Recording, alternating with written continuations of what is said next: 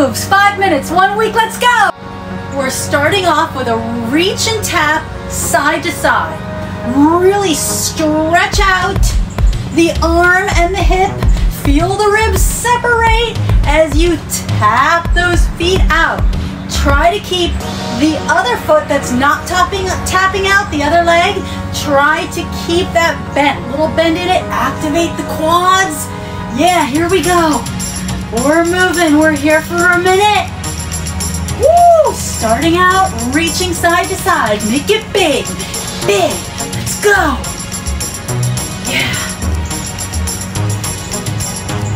After this, we have sumo squats with around the world arms.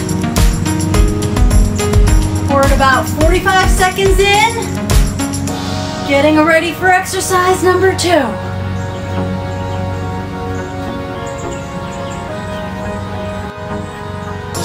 Squat.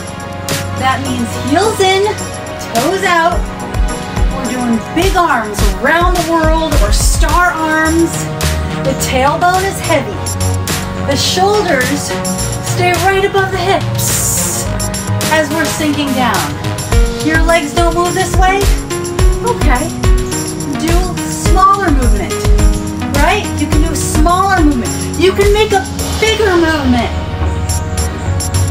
You do what feels good for your body. And just remember that it feels good to move. Try to make it as big as you can, as big as you're able to. Next move is gonna be Heisman's. Coming up in about 10 seconds.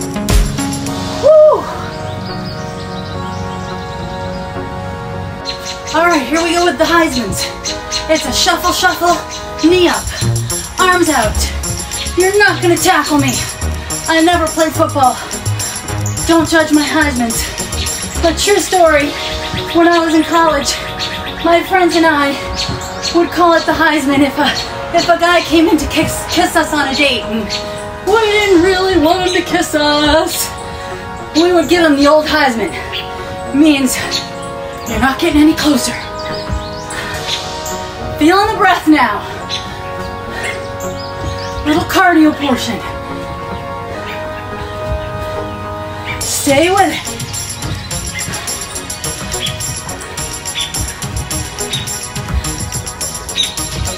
Next move is gonna be squat, ankle touch. We got this.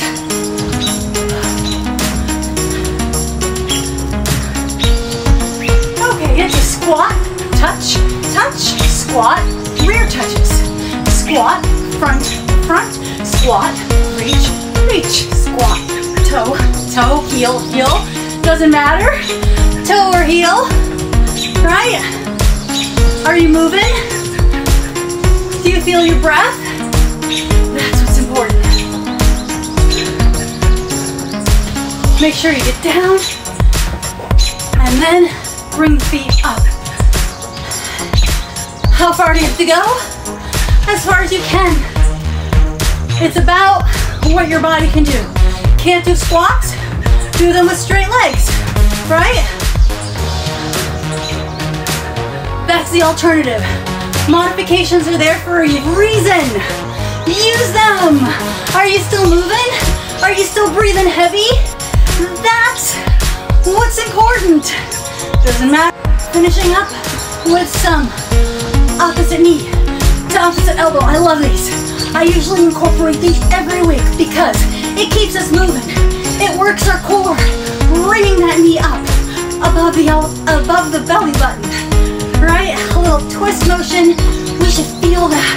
Bringing the belly button into our spine as the knee comes up. Feeling good that we've moved our body for almost five minutes today. And we're gonna keep it strong until the end. Maybe this is your warm up. Maybe this is your cool down.